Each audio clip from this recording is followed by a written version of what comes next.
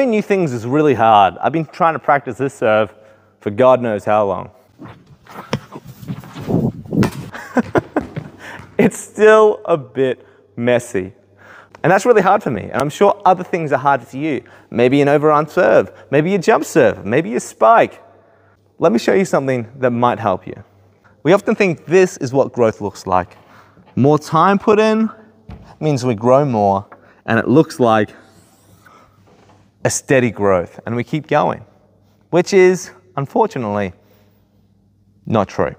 This is what I think growth looks like. We grow a little bit, we plateau, we grow a little bit more, we plateau, and it can get sometimes frustrating because the better we get, the longer we plateau for.